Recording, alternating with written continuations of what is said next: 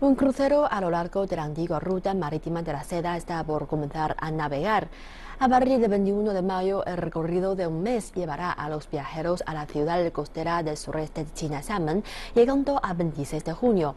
Ahora el crucero está navegando de Penang, en Malasia, a Bangkok, en Tailandia, y los pasajeros están siendo agasajados con comida picante al estilo de Sichuan y con presentaciones de teatro tradicional de la provincia de Sichuan. La línea de crucero Majestic Princess está actualmente haciendo una breve parada en el puerto de Penang. Diasa concluye su misión de llevar a miles de turistas de más de 40 países a lo largo de la ruta marítima de la seda, desde Roma, Italia, hasta Xiamen, en China. La comida de Sichuan, servida por famosos chefs chinos, le ofrece a los comensales experiencias extraordinarias.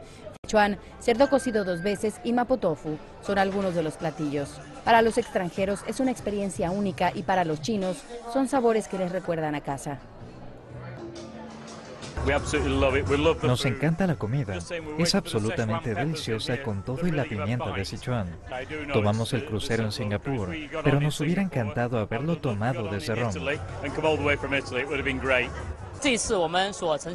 Tenemos cerca de 600 platos y delicias. He visto que todos los pasajeros están muy complacidos de comer nuestros alimentos y que les parecen muy sabrosos. Este es el recorrido inaugural del crucero a lo largo de la ruta marítima de la seda y me siento muy orgulloso de servir a todos los invitados con nuestra famosa comida de Sichuan. Si la comida satisface los paladares de los comensales, las presentaciones de cambios de máscaras y las ceremonias del té los entretendrán aún más.